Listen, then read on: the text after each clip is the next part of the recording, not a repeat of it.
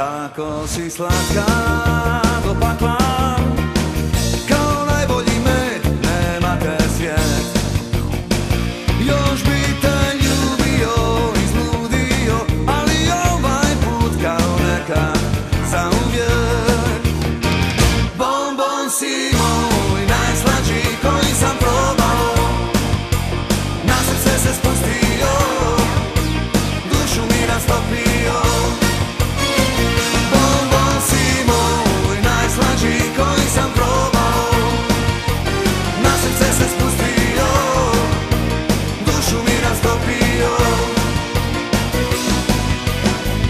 Tako si mila,